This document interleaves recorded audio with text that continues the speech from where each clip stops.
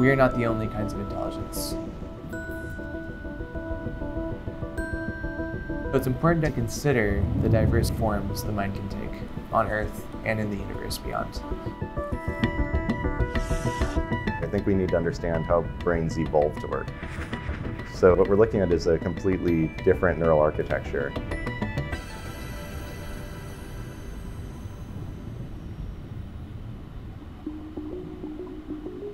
I first gained interest in the mind of the octopus when I was in a lab full of marine invertebrates. There was one of those animals that seemed to be studying me as much as I was studying it.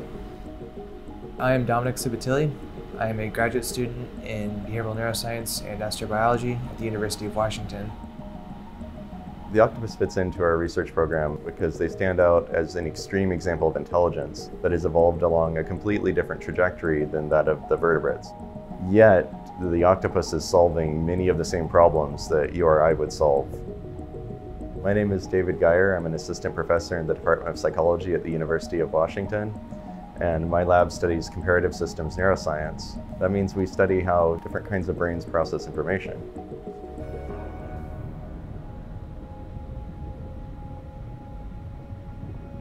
In a broad sense, octopus nerves do function like ours. They have physiological properties that are very similar, and yet they're forming networks that are completely different from the networks we see in our brains. So it takes more time for information in the octopus's nervous system to get from point A to point B compared to vertebrates, whose neurons can fire a lot faster. Because it takes so long, how these systems are designed plays a much bigger role in how they can compute the octopus brain is distributed with two-thirds of its neurons in its arms. There's actually this dense network of neural clusters or ganglia that are locally controlling the muscles. So you can have a bunch of little individual decisions being made along the arm, which don't necessarily agree with each other. This creates a unique form of movement that the octopus is able to possess. If we're watching a rodent look for some food pellets, we're seeing some nice rhythmic motion, but when we watch an octopus, it's almost like watching the fluid environment itself moving across the surface of the rocks. There's an extreme density of chemoreceptors in the suckers of the octopus. They literally can smell and taste with their arms. So it seems like the way the octopus deals with having eight independent arms and having to process all of that sensory information is that it has located a lot of the sensory processing as close as possible to the external world in a way, the octopus has sent its mind out into the environment to meet it halfway. Key to understanding their intelligence is to understand how this distributed network is sharing information with itself.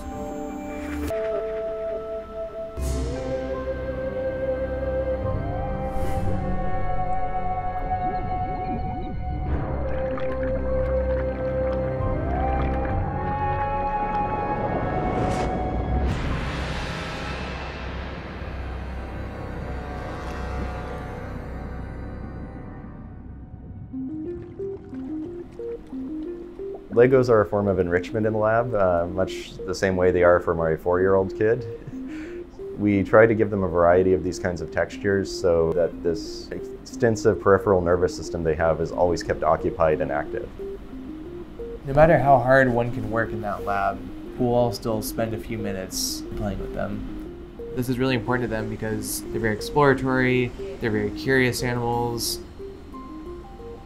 and at the same time as enriching them, we can also study how their arm is processing information and how their suckers are processing information.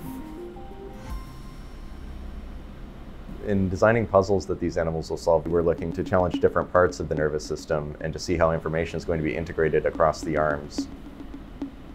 Where we began with two-dimensional tracking, now our methods are more sophisticated.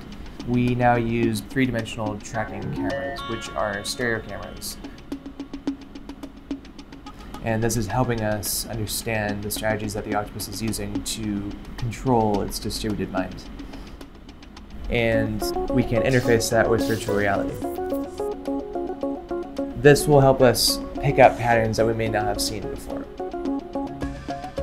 It gives us an entirely different perspective on our data and the movement of our animals.